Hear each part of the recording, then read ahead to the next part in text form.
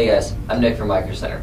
So you got a Windows 8 computer and you're the administrator of the computer and you want to have you know like your kids or someone else just have the basic access. They can still use the computer, but they can't change your personal files and delete things without your permission.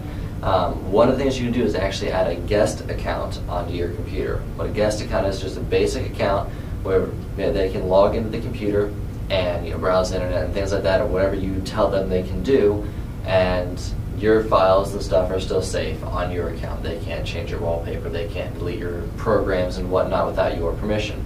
So we'll show you today how to set up the guest account on your computer for Windows 8. So let's get started.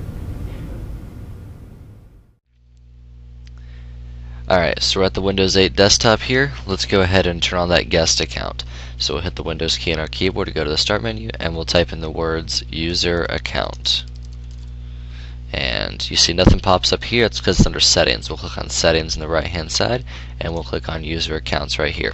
This will bring up your main user account panel and we'll click on uh, manage another account here.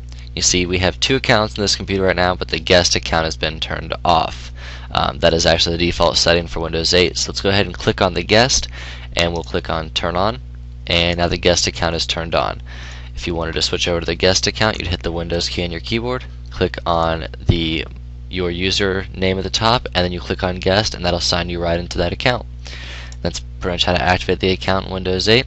If you have any other questions, feel free to contact us at microcentertech.com.